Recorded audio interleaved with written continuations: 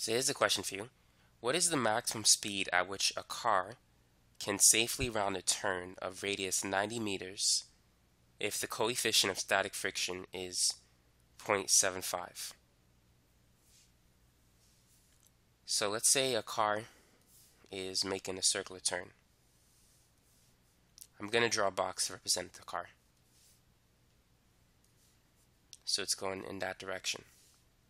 How can we calculate the coefficient of static friction that allows it to make the turn? Now what you need to understand is that static friction is directed this way. Whenever a car makes a circular turn, static friction between the road and the tires allows it to make the turn. So static friction provides the centripetal force. So the net force in the x direction for this problem is equal to the static frictional force. That's the only other force acting in that direction. And we know that the net force is mass times acceleration. So it's just ma. And the static frictional force is mu s times the normal force. Now the acceleration in the x direction or towards the center of the circle is the centripetal acceleration, which is v squared divided by r. The normal force on a horizontal flat surface is sim simply equal to the weight of the object, which is mg. So in this problem, we can cancel the mass. The maximum speed of the car does not depend on the mass. So what we have left over is v squared divided by r, which is equal to mu s times g. So let's multiply both sides by r. So what we have now is v squared is equal to mu s times g times r. And now let's take the square root of both sides.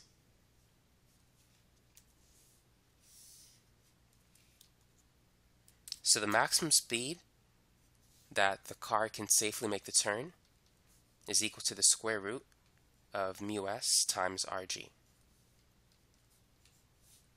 So that's 0.75 times the radius, which is 90, times the gravitational acceleration of 9.8 meters per second squared.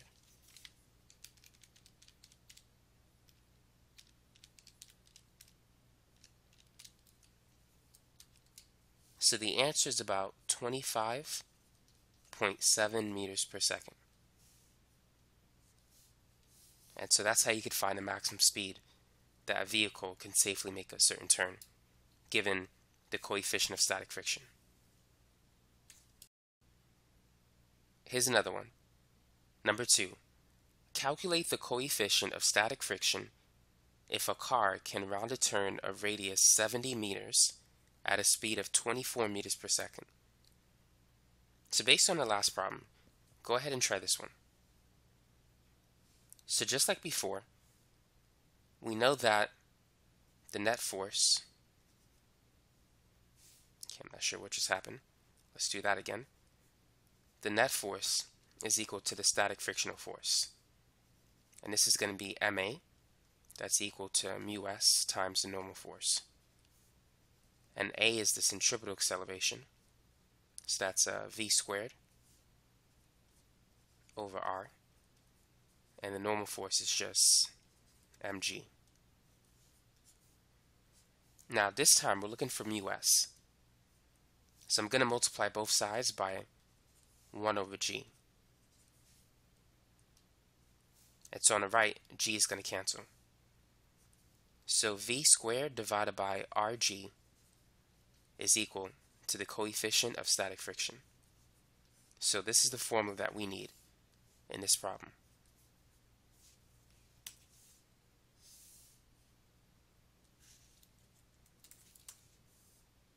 So mu s is going to be 24 squared divided by the radius of 70 times 9.8. 24 squared is 576. 70 times 9.8 is 686. So dividing these two numbers,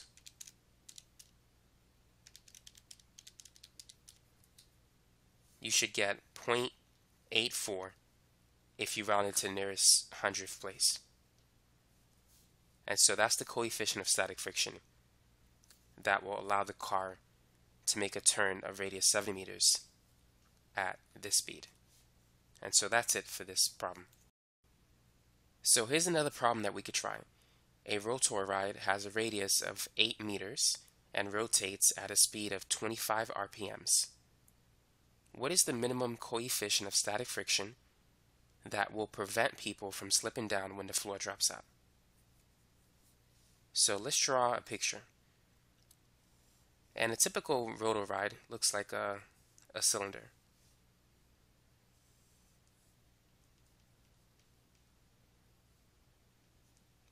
And let's draw a person. Now, as the ride spins, and as the floor drops out, the person, if he's moving fast enough, will not fall down. Now, how does that work? Well, the person wants to fly out this way. But instead, based on the curvature of the room as it rotates, it forces him to turn in a circle. So therefore, the wall exerts a normal force on a person. The person feels like he's being pressed against the wall. But his inertia wants him to keep going forward, but based on the curvature of the wall as it spins, it forces him to turn into a circle. So the wall exerts a normal force in this direction the person's weight force wants to bring him down. And static friction prevents him from sliding down. Now, as you increase the speed, the normal force increases, which in turn increases the static frictional force, which supports the weight of the person. So there's a minimum speed at which this Rotor-Ride has to spin at in order to support the weight of the person. Our goal is to find the minimum coefficient of static friction. So we need just enough frictional force to support the weight. So we're going to set those two equal to each other. So Fs is equal to mg. Now static friction is equal to mu s times the normal force. So how can we calculate the normal force? Notice that the normal force points towards the center of the circle. So therefore, the normal force provides the centripetal force. It keeps the person moving in circular motion. So we could say that the normal force is equal to the centripetal force, and therefore the normal force is mv squared over r. So now we have mu s times mv squared over r is equal to mg. So now we could cancel m.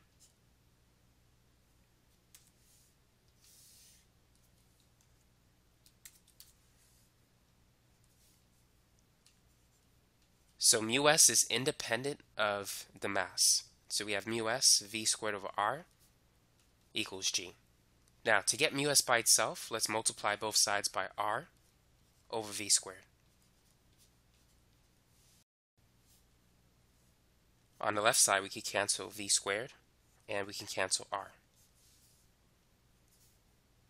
So mu s in this problem is equal to rg over v squared. Now, we have r, we know what g is. The only thing we're missing is the speed in meters per second. We have it in RPMs, that is revolutions per minute. So let's just get rid of some stuff first.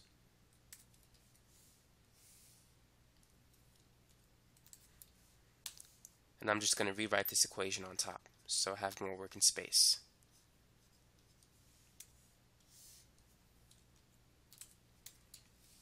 So how can we convert RPMs into meters per second?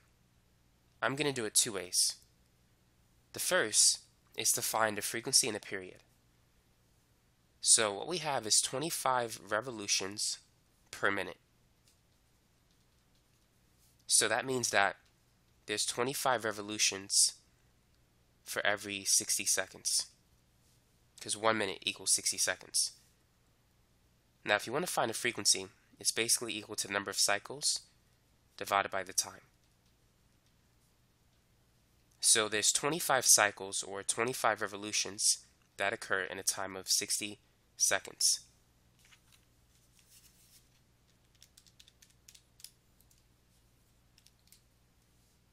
So this is equal to 0.4167 revolutions per second or cycles per second. Now the period is 1 over f, 1 over the frequency. So it's 1 over 0.4167 or 60 over 25. So you should get 2.4 seconds for the period. Now the speed is 2 pi r divided by the period. It's distance over time, and the distance around a circle is the circumference of a circle. So if you want to derive this equation, you can start from this equation. So we know that d is equal to vt when an object is moving with constant speed. So v is d divided by t. The distance of a circle, as we said before, is the circumference of a circle, which is 2 pi r and the time it takes to travel around a circle is known as a period. So v is equal to 2 pi r over t. So that's how you can get that equation, if you're wondering. So now once we have it, we can now find a speed. So it's 2 pi times a radius of 8 meters divided by a period of 2.4 seconds.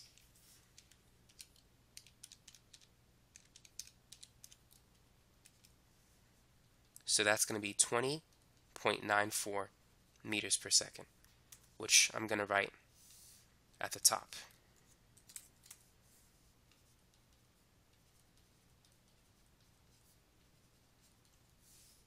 So now what's another way in which we can convert RPMs directly into meters per second? So if you want to use a conversion process, here's what you could do. So this is how you convert linear speed, or rather angular speed, into linear speed. This is linear speed.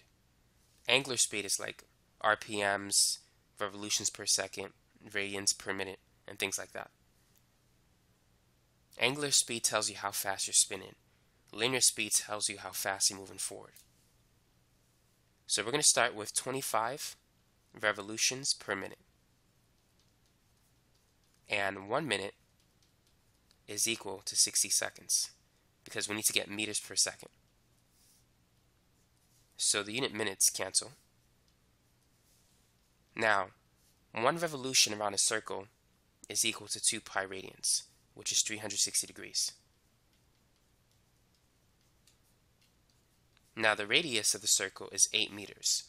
So that means that one radian has a length of 8 meters. So now the units revolutions cancel and the units radians cancel. So now what we have left over is meters per second. So let's get the answer. It's 25 divided by 60 times 2 pi times 8. And that will give you the same answer of 20.94. Now that we have the speed, let's calculate the coefficient of static friction. So let's get the final answer. So mu s is equal to the radius of 8 meters times the gravitational acceleration of 9.8 meters per second squared divided by the speed, which is 20.94 meters per second. And we need to square that as well.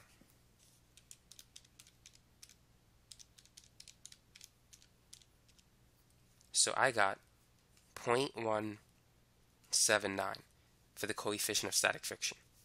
So that's the minimum amount that we need so when that the floor drops out,